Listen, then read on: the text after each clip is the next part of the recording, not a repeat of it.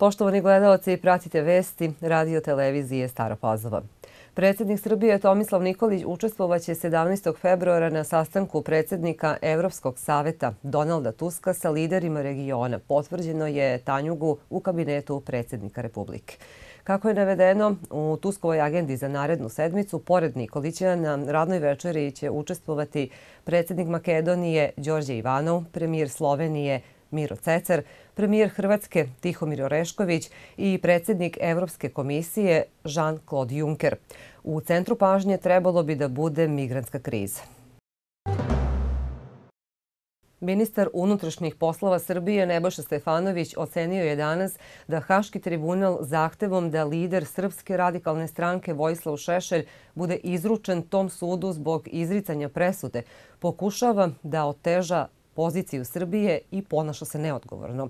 Ovde nije reč o Šešelju, nije reč ni o jednom pojedincu, već o destabilizaciji vlade, rekao je Stefanović. Haški tribunal izreći će 31. marta presudu lideru Srpske radikalne stranke Vojislavu Šešelju, a u odluci tribunala se vlastima Srbije nalaže da preduzmu sve neophodne mere da obezbede prisustvo optuženog izricanju presude. Misija Međunarodnog monetarnog fonda stiže u Beograd 17. februara, a zvanični razgovori sa vlastima u Srbiji počeće 18. februara i trajeće do 26. februara, saznaje Beta. Srbija je sa MMF-om u februaru 2015. godine sklopila trogodišnji stand-by aranžman ispred osrožnosti u vrednosti 1,2 milijarde evra. Do sada su obnovljene tri revizije aranžmana koje su bile uspešne jer je MMF ocenio da program sa Srbijom daje dobre rezultate, ali da i dale ostaju rizici za očuvanje makroekonomske stabilnosti i obezbeđivanje privrednog rasta. Garda Vojske Srbije izvršit će sutra počasnu artiljerijsku paljbu povodom obeležavanja 15. februara Dana državnosti. Počasna paljba biće izvedena u 16 časova sa Savske terase Kalemegdana, saopštilo je Ministarstvo odbrane. Paljba će biti izvršena sa 10 lotuna iz šest artiljerijskih oruđa, navodi se u saopštenju. Unija žena opštinskog odbora Srpske napredne stranke Stara Pazova juče je u Starim Banovcima organizovala prezentaciju projekta Ekonomsko osnaživanje žena kroz razvoj ruralnog turizma. Ovaj događaj napunio je salu u mesne zajednici. Skupština opštine Stara Pazova je usvajanjem važnih prostornih planova stvorila urbanističke preduslove za investiranje u razvoj turizma, a turistička organizacija koja postoji od 2009. godine je na usluzi svima koji svoju šansu vide u razvoju ove privredne grane. Čulo se na predstavljanju projekta ekonomsko osnaživanje žena kroz razvoj ruralnog turizma u prepunoj sali mesne zajednice u Starim Banovcima. Skup je organizovala Unija žena opštinskog odbora Srpske napredne stranke Stara Pazova na čelu sa Draganom Stević, predsednicom Unije. Sama tema rodne ravnopravnosti, opšte žena u politici, njihovo ekonomsko osnaživanje, videli smo ovaj, tu temu kao podlogu, u stvari ruralni turizam kao interesantnu podlogu za priču sa ženama koje su ovde naravno iz Podunalja u starim Banovcima i da će im edukacija na tu temu vrlo dobro doći kao neki primjeri dobre prakse, naravno informacije iz lokalne samouprave, turističke organizacije i mislim da budu, mogu da budu vrlo korisne i da mi kao eto Unija žena Srpske napredne stranke pokušavamo da što više informacije i da što više dopremo do žene ne samo u gradskim nego i eto u seoskim sredinama da stari Banovci daleko daleko su neke klasične seoske sredine. Stari Banovci su na Dunavu i posjeduju mnoge prednosti za razvoj turizma, a po rečima Jasminke Graovac, koordinatorke Unije žena mesnog odbora SNS-a Stari Banovci, životne teme su privlačne za starobanovčanke.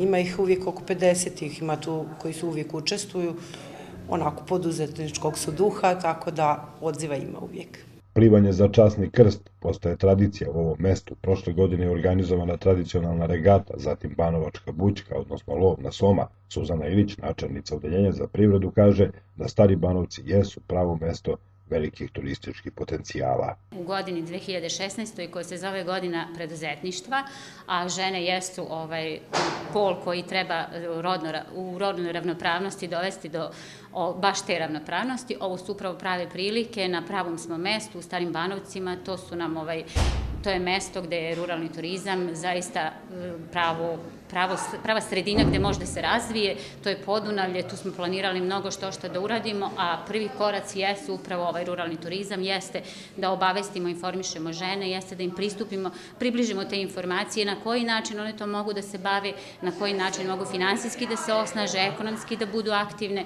I evo to su žene Staribanovci pokazale svojim učešćem ovde u, ovoj, u ovom predavanju koje je zaista, zaista dobro posećeno. Dragana Zori Stanojković, direktorka turističke organizacije opštine Stara Pazova je ukazala da u našoj sredini za sada preovlađuje manifestacioni i vikend turizam. Noćenja nam e, ne manjka, ali smeštane kapaciteta u ruralnim e, sredinama to e, je zaista potrebno, tako da mi je izuzetno drago ovaj, da mogu da održim kratko jednu prezentaciju i da ženama, ovaj, preduzetnicima, preduzetnicama budućim ovaj, približimo koji su, kako, šta u stvari znači ruralni turizam, koje su to ovaj, populacije koje, koje uzimaju učešće u ruralnom ruralnom turizmu, e, kako da se registruju, e, šta mogu da dobiju od svega toga, a mislim da imamo e, izuzetno veliki potencijal, sama činjenica da smo na jako dobroj poziciji lokacijski, da imamo Dunava, 24 km obale neiskorišćene, da su, kao što ste rekli, projekti ovaj, veliki u planu, tako da se radimo na tome. Prvo krećemo e, od edukacija ovaj, stanovništva. Na prezentaciji se čulo da su gosti sve zahtevniji, da uređenje smeštajnih kapaciteta treba utisnuti lični pečat, čuvati životnu sredinu i što manje u njoj intervenisati. Na kraju činjenica je da je rodna ravnopravnost žena samo za sebe prazna fraza, ali ako je potkrepena životnim i egzistencijalnim temama, kao što je ova, onda ona ima smisla. Sinoć je u Novoj Pazovi svečano otvorena nova kancelarija opštinskog odbora SPS-a uz prisustvo brojnih gostiju. Pre toga održan je radni sastanak foruma žena opštinskog odbora SPS-a. Uz prisustvo brojnih gostiju u samom centru Nove Pazove otvorena je kancelarija opštinskog odbora Socijalističke partije Srbije, a na ovaj korak su se odlučili zato što je za poslednjih godinu dana ovde došao veliki broj novih članova. Prepoznajući u Socijalističkoj partiji Srbije i njenim idejama nešto što može da poboljša kvalitet njihovog života kako na lokalu, tako i na nekim višim nivoima. Stoga je opštinsko rukovodstvo Socijalističke partije Srbije i Stare Pazove došlo na ideju da se i u Novoj Pazovi kao drugovi po veličini mestu u opštini Stara Stara Pazova građanima i članovima Socialističke partije Srbije mora pružiti jedno ovakvo mesto. Na poslednjoj sednici opštinskog odbora SPS-a akcenat je stavljen na učešće omladine i žena u političkom životu. Profesor dr. Predrag Marković, potpredsednik SPS-a i Ivan Đoković, sekretar izvršnog odbora pokrajinskog odbora, takođe su govorili o emancipaciji žena i potrebi njihovog učešća u političkom i javnom životu i podsjetili na to da svaki treći kandidat na listi za odbornike mora biti žena. Ja vas podsjećam i pozivam da se čuje vaš glas kako unutar partije, se izborite za ta mesta, tako i van partije, u smislu da pokažete svima koga mi to posjedujemo od naših drugarica ovde. Smatram da jedina prava levičarska partija u Srbiji, socijalistička partija, stvarno mora, ne da treba, nego da mora da favorizuje žene i da, naravno, tu zavisi i od žena samih. Ako budete ovako aktivni, kao, kao što kaže Zoran, onda treba da ta vaša pobeda ovde se prošira na celu Srbiju.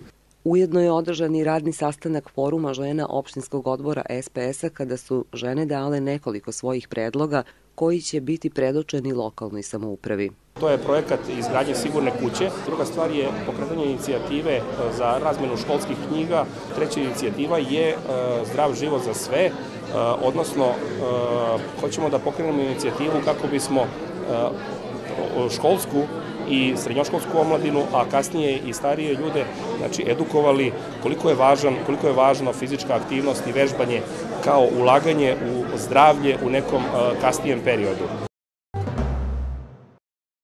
Legenda top liste nadrealista i audicije sarajevski glumac, režiser i muzičar Branko Đurić Đura predstavio je sinoć Đurologiju, svoj anti-stand-up show, kako ga naziva, u Staroj Pazovi. Đurologija je zbirka razmišljanja koja predstavlja sve što autora zabavlja, ali i nervira. Snimanje predstave nije bilo dozvoljeno, ali je pred sam nastup Branko Đurić Đura dao izjavu za našu televiziju. Ja sam nekako rekao da je to anti-stand-up, zato što previše poštujem ove ljude koji se ozbiljno bave stand-upom i najčešće se stand-upom bave amaterski glumci. Rijetko sam primijetio da neki akademski glumac igra e, e, stand-up. Tako da sam iz poštovanja prema ovim amaterima koji se e, iskreno bave sa tim, ja kao akademski glumac sam rekao da ću da glumim stand-up. Tako da je najbliže objašnjenje toga da ja glumim stand-up komičar, jer to je preteško zanimanje za, za mene, tako da ga samo glumim. Uglavnom više u samoj predstavi onoga što me nervira, jer to je ljudima mnogo zanimljivija i danas je mnogo više stvari koje nas nerviraju nego ovi koji nas zabavljaju. Tako da je ovo u stvari zabavljam publiku sa stvarima koje ih nerviraju. Srpski teniser Dušan Lajović zaustavljen je u četvrt finalu turnira u Buenos Airesu. Momak iz Srbije koji je pre dva dana pobedio Johna Iznera i napravio veliko iznenađenje zaustavljen je od strane Austrijanca Dominika Tima. Ljubitelji tenisa su očekivali daleko veću borbu i neizvesniju završnicu, ali Tim je uspeo da slomi Lajovića u prvom setu, a zatim je dominirao u drugom. Na kraju Tim Lajović 2-0 po setovima 6-4, 6-2. Tim će u polufinalu igrati sa boljim iz duela Nadal Lorenci. Lajović nema mnogo razloga za tugovanje, jer je plasmanom u četvrt finale napravio veoma dobar rezultat. Lajović ima još uvek realne izglede da se nađe na olimpijskim igrama u Brazilu. Ako nastavi da igra, kao što je to bio slučaj u Argentini, naročito u duelu sa Iznerom, nije nemoguće da stigne do pozicije broj 60 na top listi, koja bi po svemu sudeći trebalo da donese vizu za Rio. U 15. kolu prve lige odbojkaši jedinstva će sutra u Staroj Pazovi dočekati ekipu Bavaništa. Jedinstvo se u oči ove utakmice nalazi na prvom mestu sa 39 bodova, a prvi poraz u prvenstvu doživeli su u prošlom kolu od Kosovske Mitrovice. Utakmica će se igrati u Staroj Pazovi u ulici Branka Radičevića i počeće u 19 časova. U vestima je informacija o radnom vremenu za dane praznika. U ponedeljak 15. i utorak 16. februara u Domu zdravlja dr. Jovan Jovanović Zmaj službe opšte prakse i pedijatrije u Staroj i Novoj Pazovi radit će od 9 do 15 časova, dok će ambulanta u Starim Banovcima raditi od 9 do 13 časova. Sve službe pri javnom komunalnom preduzeću Čistoća će u ponedeljak i utorak raditi po ustaljenom rasporedu. Medijusovi supermarketi radit će po uobičajenom radnom vremenu. Autobuski prevozni glasta će za dane praznika voziti po nedeljnom redu vožnje, a iz lasta je stiglo i obaveštenje da đaci kojima se završava februarski raspust i putuju u škole u Zemun i Beograd, prvog školskog dana 17. februara mogu putovati na pomenutim relacijama uz pokaznu markicu za januar 2016. godine. Od 18. februara moraju imati uredno kupljenu markicu za drugu polovinu februara 2016. Prodaja markica za drugu polovinu februara je u toku svakodnevno na autobuskoj stanici i prodajno mesto Gurman Nova Pazova 15. i 16. februara od 9 do 17. Prodajno mesto Banovci Dunav 15. i 16. februara od 8 do 14 časova.